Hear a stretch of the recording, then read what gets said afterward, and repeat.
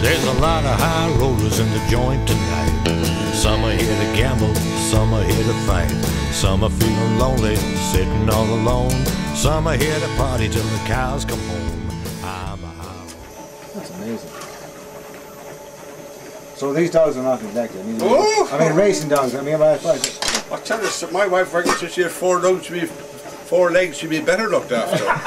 and you can put that on camera if you like. We just feed them in the box here and get used to the to the noise. to be in the box and dogs. Never had a period of time where I never had no dogs. I Always had something. If, if you buy them like those young ones over there, you're going to pay six or seven hundred euro for those. You can pay up to three thousand. After your race, that you, if you win, good luck. Well done. it's well done. And we yeah. all walk out, the six dogs walk away out after the race.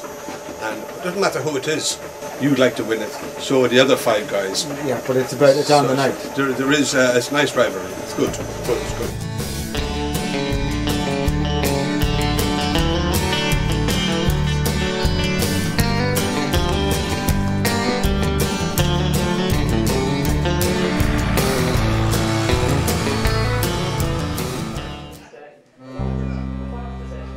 Jag valde hier hundraden varder Peikin dogs meg dolin me Thank you. Well, I hope you hope to be back with this. Okay, so what have you just done? I just I just placed a bet. Two dogs, same race.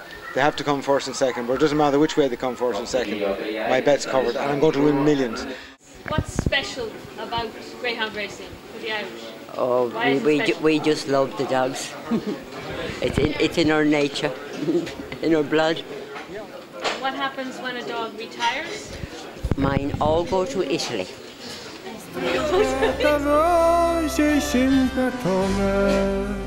Husenona drömmer finne vallelu And weight-wise, I am looking for 59 pounds.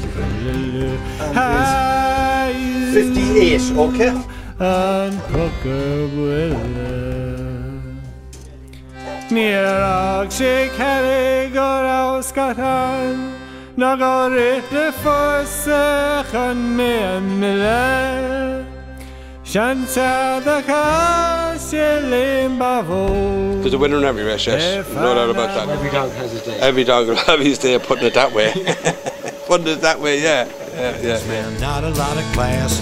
Drinking Jack Daniels from a highball glass. Looking in the mirror, catching his own eye. Feeling pretty